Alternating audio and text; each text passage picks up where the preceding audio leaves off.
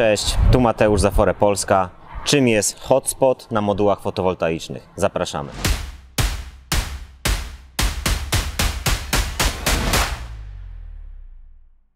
Proszę Państwa, hotspot z języka angielskiego, gorący punkt, to miejsce na module fotowoltaicznym, które nagrzewa się szybciej i nagrzewa się do niebezpiecznych wartości.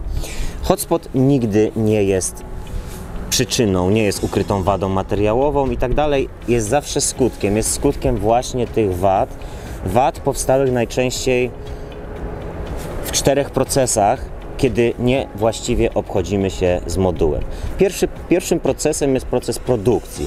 My jako firma Sola każdy moduł, który wypuszczamy z fabryki, yy, prześwietlamy w cudzysłowie badaniem EL, elektroluminescencyjnym, które te mikropęknięcia, które mogły powstać w procesie produkcji, i później magazynowania na przykład wychwyca, czyli przed sprzedażą powiedzmy, że Państwo jesteście w naszym przypadku zabezpieczeni, ale są jeszcze trzy inne etapy. Etap transportu, bo ktoś ten moduł odbiera i transportuje, etap montażu, no i etap eksploatacji przez nas, przez odbiorcę końcowego. Do mikropęknięć, do wgnieceń, do zarysowań modułu ogniw może dojść na, na przykład na etapie transportu. Ja nieraz widzę na filmikach w internecie, jak montażyści czy magazynierzy ten moduł biorą z dwóch stron i wachlują nim jak żaglem. No, czwarta klasa szkoły podstawowej fizyki. Na środku moduł narażony jest na te mikropęknięcia najbardziej, jeśli obchodzimy się z nim niedelikatnie i go po prostu, krótko mówiąc, wyłamujemy. Na kolejnym etapie, czyli na etapie montażu, no zwłaszcza przy dokręcaniu, przy, przy użyciu zbyt dużego momentu, no ten moduł może gdzieś tutaj peknąć. To gołym okiem będzie nigdy, nigdy niewidoczny. No i czwarty etap to etap, za który my jesteśmy odpowiedzialni, czyli etap użytkowania zwłaszcza podczas mycia, ja do znudzenia podkreślałem w filmikach dotyczących odśnieżania i mycia, żeby obchodzić się z tym w cudzysłowie jak z jajkiem, żeby po tym nie stąpać, nie łazić, bo on poradzi sobie z gradem w większości przypadków, ze śniegiem zalegającym, z deszczem i tak dalej, ale nie poradzi sobie z naszymi butami, kiedy po prostu na niego wtargniemy. Ale wreszcie powiem, czym jest ten hotspot.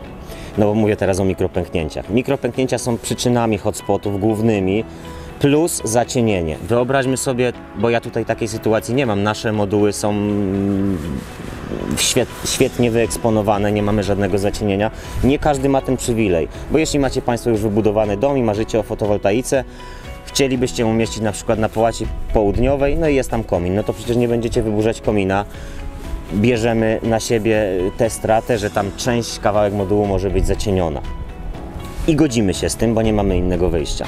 No ale jeśli jest to, jest tam miejsce zacienione i dodatkowo w tej zacienionej połaci wystąpi mikropęknięcie, no możemy być pewni, że ten hotspot wystąpi. A dlaczego? Dlatego, że moduły, przepraszam, ogniwa zacienione nie produkują y, prądu, ale go pobierają.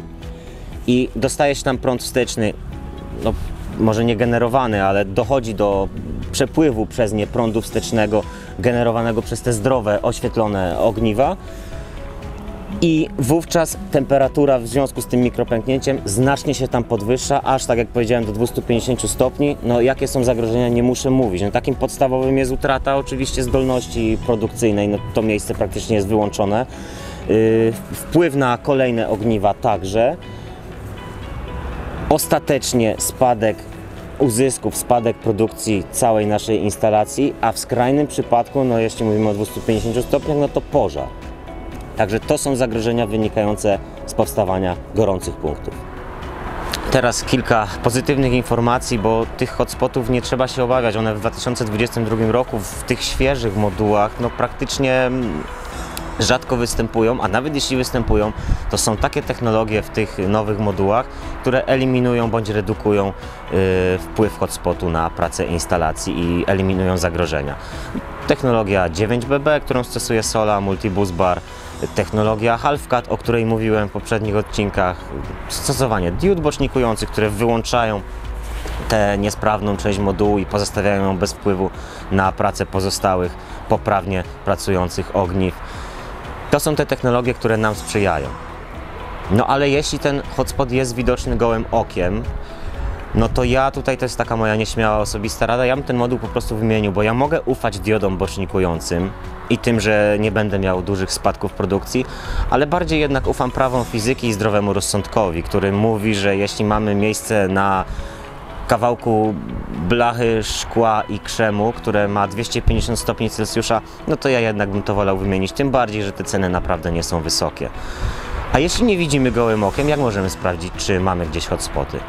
No, podstawową technologią jest ta, którą stosują niektóre firmy instalacyjne, mają to w swoim portfolio i możecie Państwo taką usługę zamówić, badanie kamerą termowizyjną, które wskaże nam te miejsca, które są rozgrzane w cudzysłowie do czerwoności. No i jest też taka chłopska metoda, zwłaszcza do stos- zastosowania teraz w okresie między październikiem a marcem, tylko wymaga od nas tego, żebyśmy byli cierpliwi i wcześniej rano wstali.